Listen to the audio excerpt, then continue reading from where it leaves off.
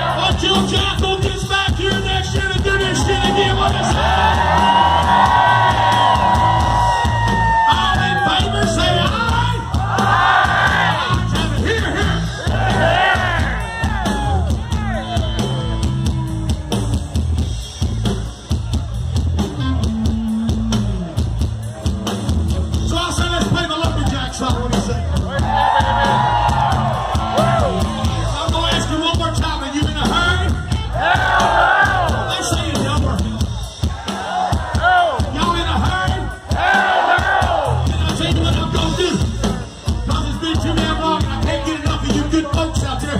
One more time, make some noise for yourself, you fat mother.